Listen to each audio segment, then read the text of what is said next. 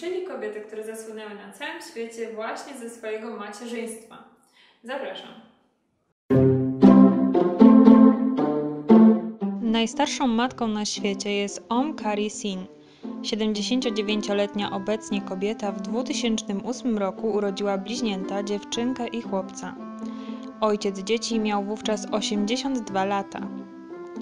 Kobieta zaszła w ciążę, gdy jej najstarsza córka miała 50 lat. Na świat przyszły zdrowe bliźniaki, dziewczynka o imieniu Barsad i chłopiec, któremu rodzice nadali imię Akasfani. Niestety, gdy Barsad miała 4 lata, uległa śmiertelnemu wypadkowi. Za to jej brat jest dziś szczęśliwym i zdrowym dziewięciolatkiem. Staruszkowie otwarcie przyznają, że wychowywanie dzieci w podeszłym wieku to nie lada wyzwanie. W słabszych dniach Omkari ma problemy z wykonywaniem najprostszych czynności, takich jak chociażby pomóc chłopcu w ubraniu się. W wychowywaniu dziewięciolatka dzielnie pomaga rodzeństwo. Najstarsza z dorosłych córek państwa Omkari przejmie opiekę na Akasfani, gdyby staruszkowie nie dożyli jego pełnoletności. Najmłodsza matka w historii świata to pięcioletnia Lina Medina z Peru. Dziewczynka urodziła swoje dziecko, synka, gdy miała 5 lat. Jej pierwsza miesiączka wystąpiła już w wieku 8 miesięcy, natomiast piersi uwydatniły się w wieku 4. W wieku 5 lat kość miednicza rozszerzyła się, a kości były już bardzo rozwinięte. Ojciec Liny zauważył, że jego córka, jedna z jego dziewięciorga dzieci, miała nienaturalnie opuchnięty brzuch.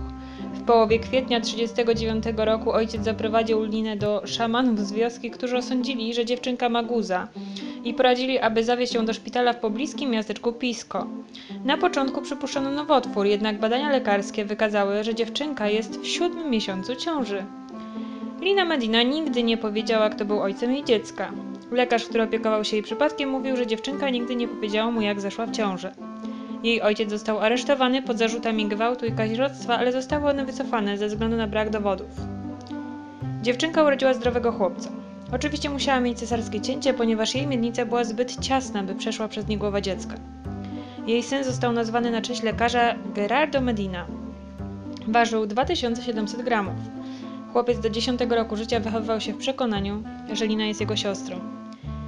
Gerardo Medina zmarł w 79 roku, w wieku lat 40, na rzadką chorobę szpiku kostnego. Rekordzistką pod względem liczby urodzonych dzieci jest Fiodorowa Waślejewa, która żyła w latach 1707-1782 rok, nieznana z imienia rosyjska chłopka, żona Fiodora Wasilejewa. Pochodziła z Szui, wsi położonej na wschód od Moskwy.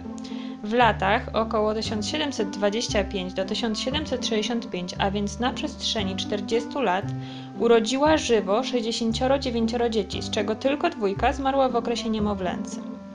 Rodzina Waślejewów musiała być bardzo opiekuńcza, a dzieci twarde. W tamtych czasach szansa na utratę dziecka w ciągu pierwszych dwóch lat jego życia była nieporównywalnie większa niż obecnie.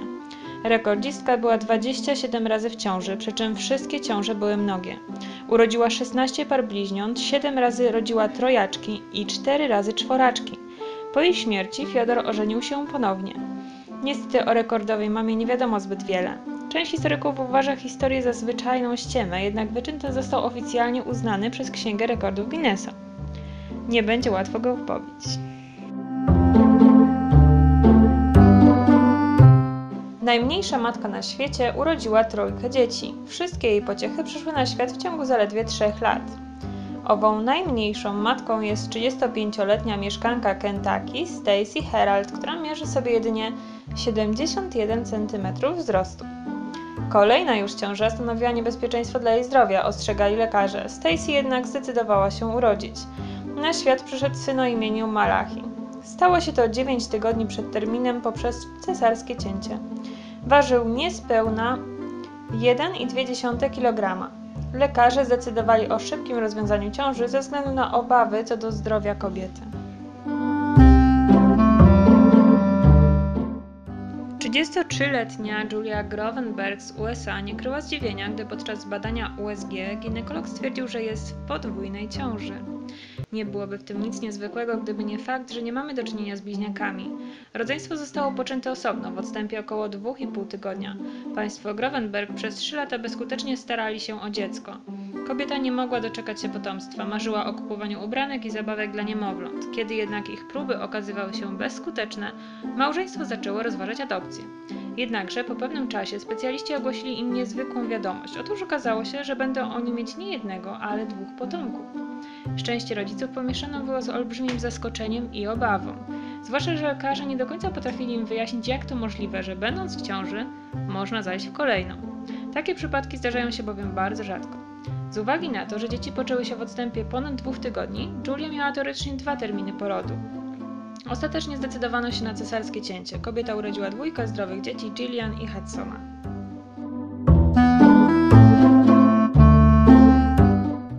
Rekord świata w tej kategorii należy do jednej z najbardziej znanych ciąż na świecie. Mowa o Oktomamie. To Nadia Suleman, bo tak naprawdę się nazywa obywatelka Stanów Zjednoczonych, która w wyniku zapłodnienia in vitro w styczniu 2009 roku urodziła ośmieraczki.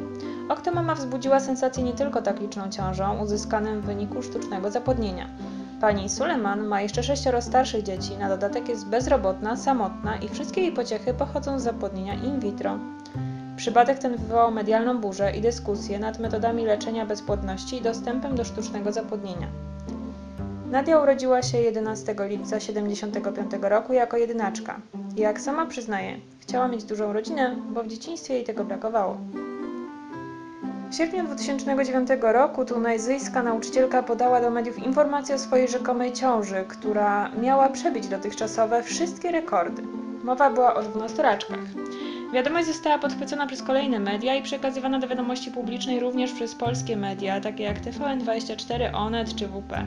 Jak się okazało, wiadomość została przez nią wymyślona. Być może cierpiała ona na ciążę urojoną, lub też chciała skupić na sobie uwagę mediów i pobrać kasy za publiczne wystąpienia. Ostatecznie rekord wciąż należy do Oktomamy.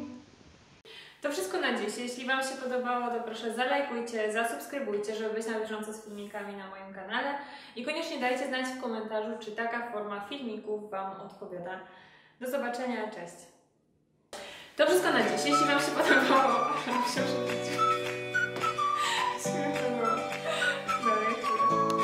To wszystko na dziś. Jeśli Wam się podobało, to proszę zalajkujcie,